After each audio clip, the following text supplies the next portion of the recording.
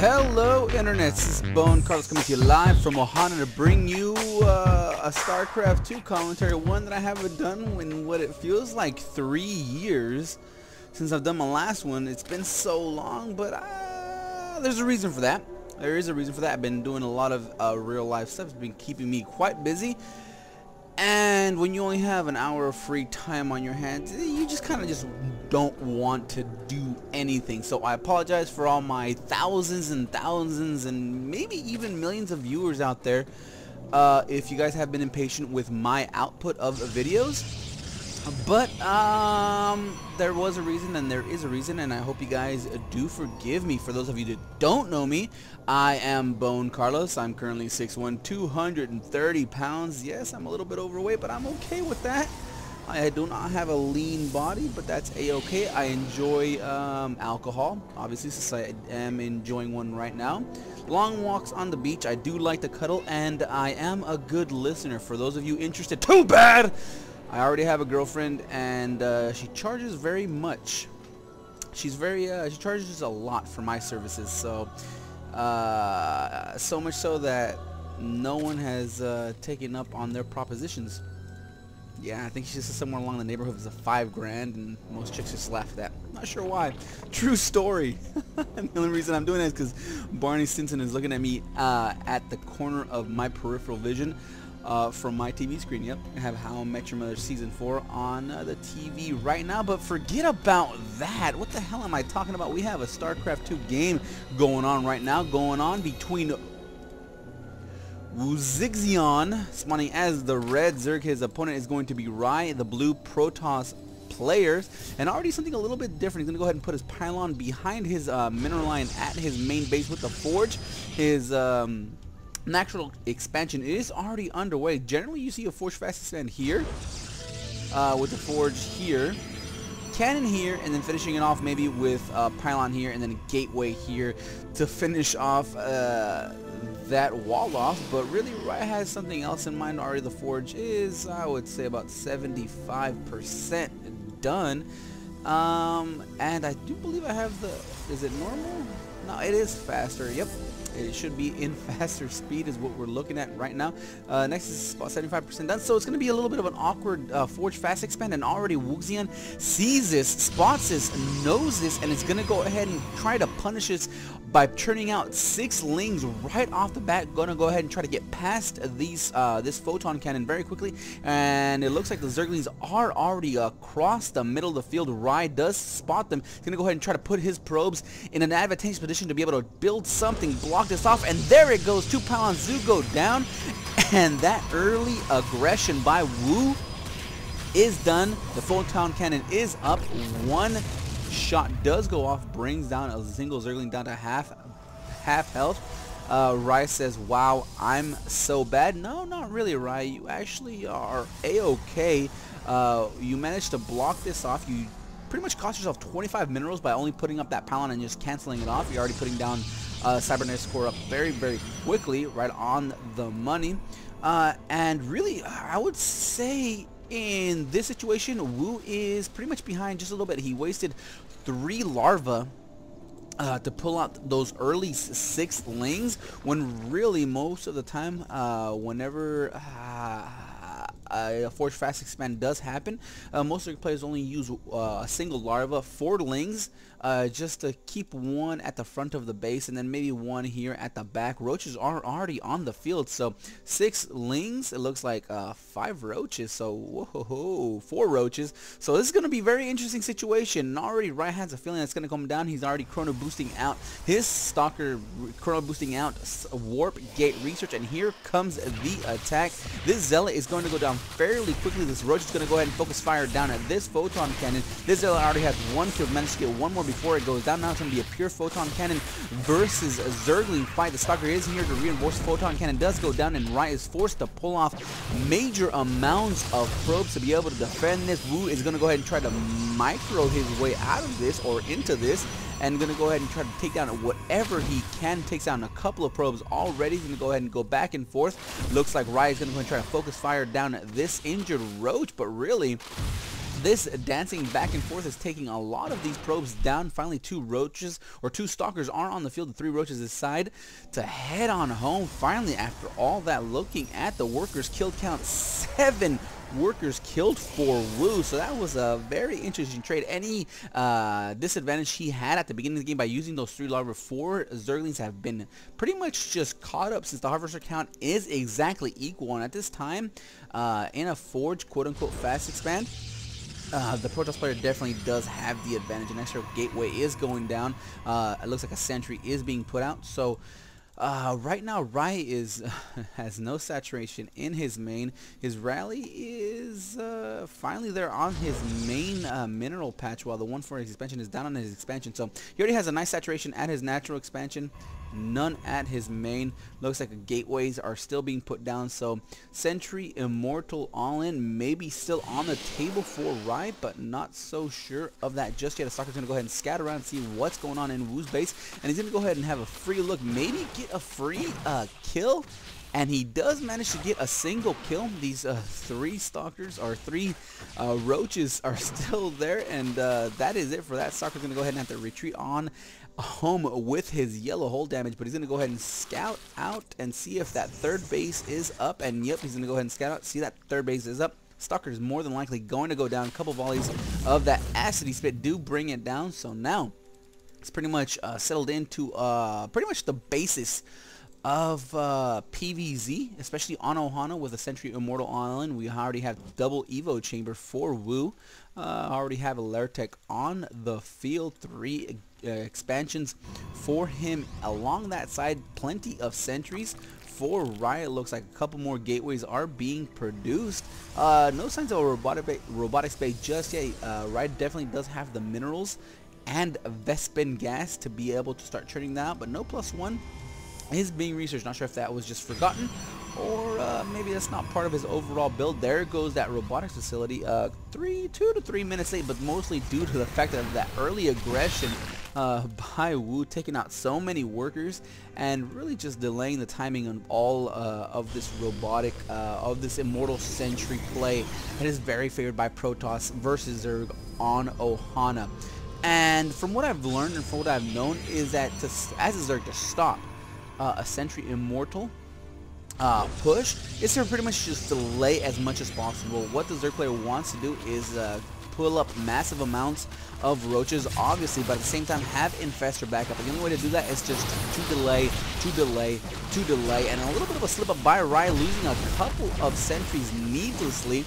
Uh, and a couple of more uh, roaches are going to go ahead and reinforce, trying to focus down as many uh, sentries as possible. One more does go down, so three sentries have been taken out. So uh, delay, delay, delay is all you want to be able to do as Wu. He doesn't have the units on the field to be able to support this at the moment. 10 uh, roaches are just a pop in production. Three, five, six more are on the field. No Zerglings to be able to do any sort of swing by surround uh, whatsoever. And looks like uh, Wu is just trying to focus down as many sentries as possible.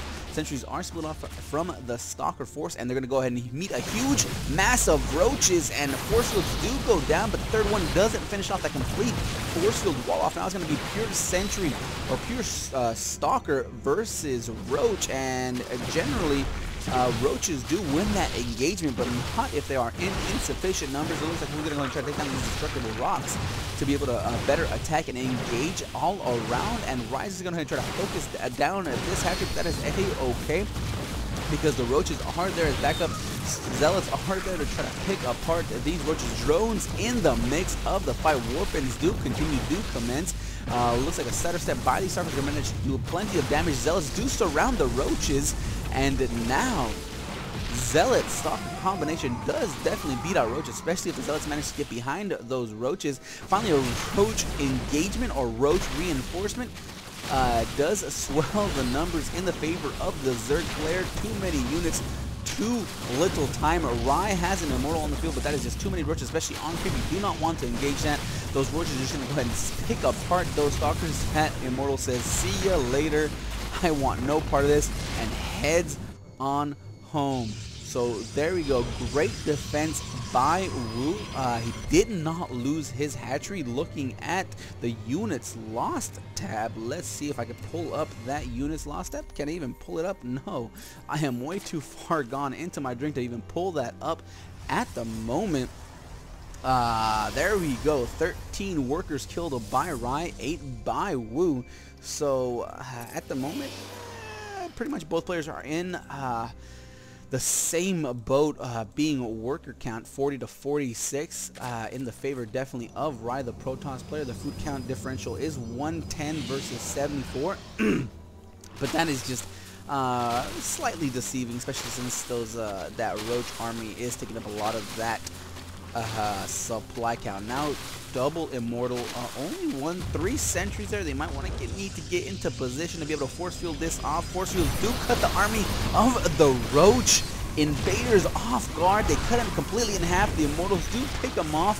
Two uh, photon cannons there for defense. Uh, that looks like that pylon does go down, but it's only powering up that cybernetics core.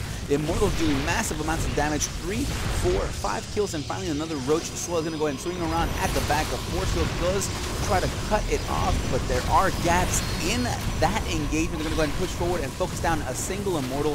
So six kills to one. That other one, I do believe, had three, maybe even four. The, uh, looks like the Probler are doing plenty of damage. A fresh warping of Zealots are going to go ahead and push away these roaches sound now looking at the workers kill count the Rhye managed to still stay in the lead but another four workers killed by Wu. And it looks like uh, plenty more pylons are being put down. To power up uh, these warp gates uh, this robotics facility was 25% done on that immortal and now, this is just a very precarious situation for Rhye. He needs to expand. He needs to do what he needs to do to get up that higher tier tech. Maybe High Templar, maybe Colossus. But Wu is just not letting him. He's splitting off his arm, uh, army exactly where he needs to. He's going to go push forward with that Roach just to get a sense of where his army is. Maybe draw him off guard. And there he goes. Wu's going to go ahead and push forward. But the gap has been sealed by these Fallen's two volleys. Does bring it down very, very quickly. And now it looks like Wu has gotten himself into a little bit of a situation. But the second Pylon does finally go down finds a gap, finds a crease, forces two more forces, and Wu is going ahead and pull on back. Looking back at his base, it doesn't look like he's putting down an infestation pit just yet. He's focusing on this pure uh, roach heavy army, and that's not where you want to be at this point of the game. You want to sacrifice yourself, give yourself five, six seconds to put that in infestation pit because that will just generally just tear this army apart. Uh, this overseer just still hanging out, hanging out, just making sure everything is hunky-dory back in base blue and reporting back to base red and now uh, looks like these uh, minerals are being kind of uh, heavily mined. It looks like Ryan needs to expand, needs to expand very quickly. Uh, this uh, couple of photon is going to go ahead and try to take out this uh, pylon that is definitely just walling off his own base. And it looks like safe, feels secure, is going to go ahead and push out as soon as possible but things back in Wu's base are very very busy. He's researching a bunch of stuff at the moment. Plus two is on the way alongside with tunneling claws alongside with burrow. So very interesting choice. Generally you don't see Zerg players doing this especially if your opponent decides to uh, forge fast expand which generally Protoss players do when given the chance. So tunneling claws is really not that great but it does serve to get past the force fields that the Protoss army can do. Next is third next is falling down. No fourth looks like uh, Wu does not seem to be trying to take a fourth uh, just yet. A Baneling Lance, so very interesting choice by Wu. Tunneling Claws, Roaches, Burrow on the way alongside with Banelings.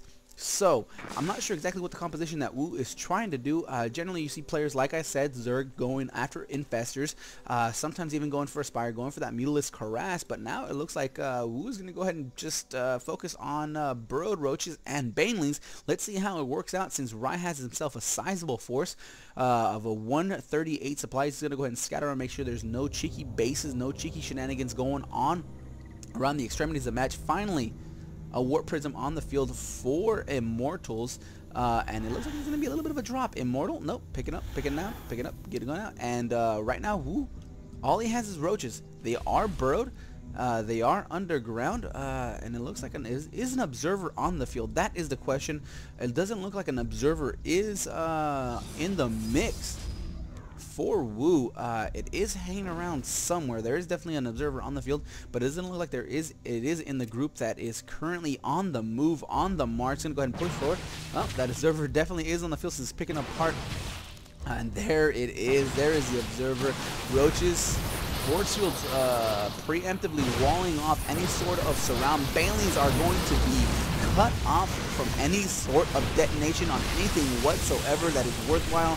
Here comes the massive amounts of force fields.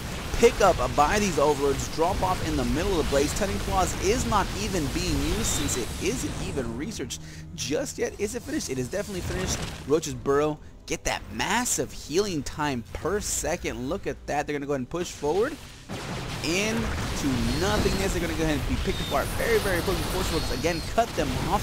Wu is forced to pull back, and he just doesn't have an angle to be able to attack with uh, the massive amounts of force fields that these sentries can provide. There is a total one, two, three, four, five, six, seven, eight sentries oh, with plenty of energy for each of them to put down at least two. I see, what, 200 out of 200? So that is 16 force fields at least with another two 18 force fields. Another engagement does happen. Force out four more force fields. So right now, Wu just needs to buy himself some time, get himself the reinforcements. Eight more roaches on progression. Two uh, two roaches get cheeky. A third one decides to join, says, I will not let you die alone, and uh, dies with his brothers. And Wu is just going to go ahead and let Rhye attack the front of his main expansion, or main expansion. Yes, Tunneling Claws do provide uh, the necessary uh, advantage to go underneath those force fields, but there's just too much there for Rhye. Plenty of Immortals there to kill off all of these roaches doing massive amounts of damage, each one doing 55, I do believe 55 damage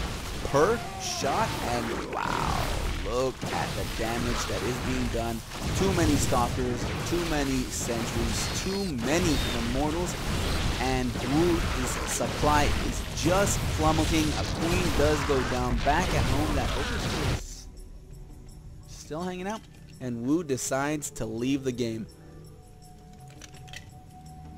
Oh man, that was just uh, not so textbook Sentry Immortal push, since this push generally happens about 12 minutes before it actually happened, but given the fact that he did have a wonky, uh, wonky sort of placement on his initial forge, uh, early aggression by Wu, everything was just thrown off kilter. What I do believe killed Wu was the fact that he didn't go for um, any infestors any Mutalisk, any type of harassment. He went with Banelings, which is a very interesting choice considering that most of the Protoss uh, units are armored. But that is it. I hope you guys enjoyed this. Uh, this replace Goes on for another 20 minutes. Not sure exactly what happens. Looks like uh, Rhye just wants to kill on everything since he feels he has the advantage. So that was it. I hope you guys enjoyed. If not, leave comments down below on what I could do to make these more enjoyable for you. If you have one of your own replays you'd like me to cast, upload them to one of the, one of the major replay sites.